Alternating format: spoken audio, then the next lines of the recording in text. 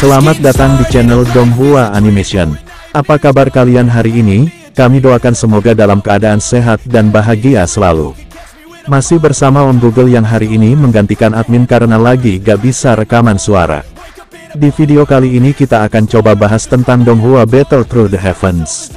Pada hari Minggu tanggal 11 Desember tahun 2022, Donghua Battle Through the Heavens telah update sampai episode ke-22. Dalam episode tersebut, salah satunya menceritakan Xiaoyan yang berhasil mendapatkan susu penempat tubuh inti bumi dari keras salju iblis langit berkat bantuan piton tujuh warna, Xiao Chai.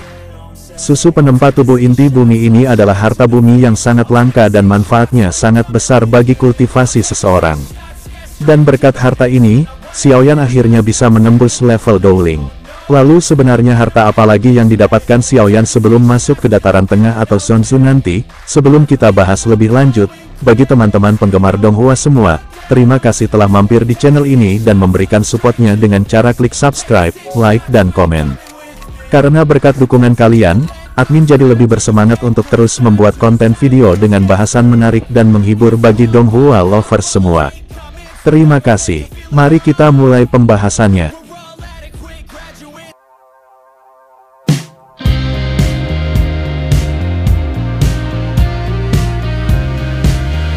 Harta ajaib yang ditemukan Xiaoyan sebelum datang ke dataran tengah, di antaranya, 1. Sayap awan ungu. Nama teknik Dou ini adalah sayap elang, juga dikenal sebagai sayap awan ungu. Teknik Dou terbang suan tinggi ini ditemukan oleh Xiaoyan di dalam gua di Magic Beast Mountain Range. Teknik terbang ini punya resiko tersendiri, karena jika yang berlatih teknik terbang ini tidak kuat menahan serangan spiritual dari jiwa elang api hitam awan ungu tersebut maka tubuhnya akan diambil alih oleh jiwa monster elang tersebut. 2. Esensi api monster singa ungu bersayap. Singa bersayap ametis adalah binatang ajaib dengan bakat bawaan. Kalau tidak, akan sulit untuk menjadi Magic Beast peringkat 6. Ketika singa ametis melahirkan, ada kemungkinan yang sangat kecil bahwa dia juga akan melahirkan esens kelahiran singa ametis semacam ini bersama dengan bayi binatang ajaib. Karena ametis Lion Bird Essence ini tinggal di dalam rahim Raja Singa untuk waktu yang lama, ia mengandung energi murni dalam jumlah yang luar biasa. Selama Lion King muda menelan ametis Lion Bird Essence ini setelah tumbuh menjadi Magic Beast peringkat 4, ia akan dapat segera menjadi Magic Beast peringkat 5. Selain itu, api ungu di tubuhnya akan lebih kuat daripada singa bersayap ametis yang tidak menelan esensi kelahiran singa ametis ini. Nah, dengan bantuan harta alam ini, Xiaoyan mendapatkan keuntungan peningkatan kekuatan dari level Dou Ze bintang 8 menjadi Dou Shi bintang 1.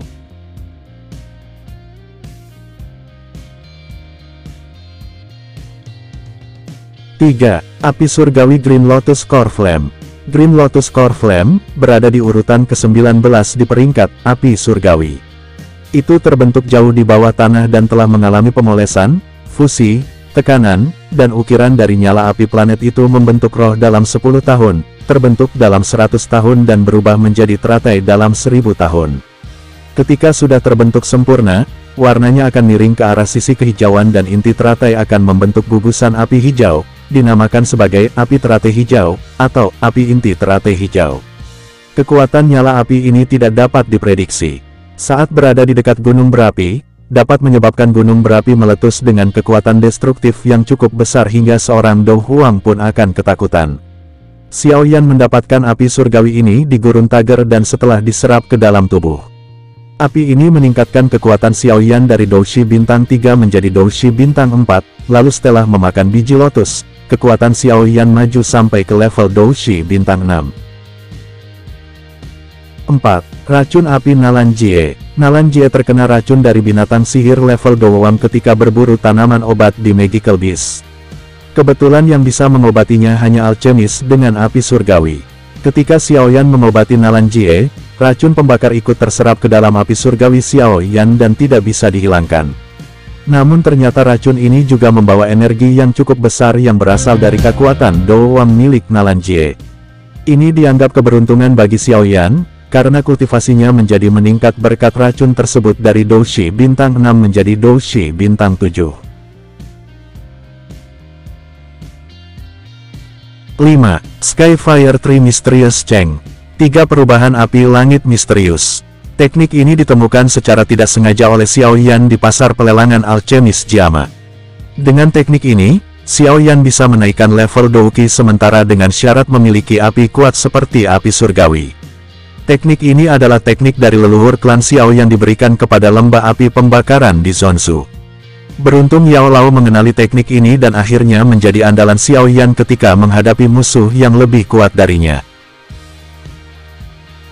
6. 3000 gerakan kilat. Gerakan 3000 petir, ini tampaknya merupakan teknik agility do tingkat tertinggi dari pavilion petir angin di benua Douki.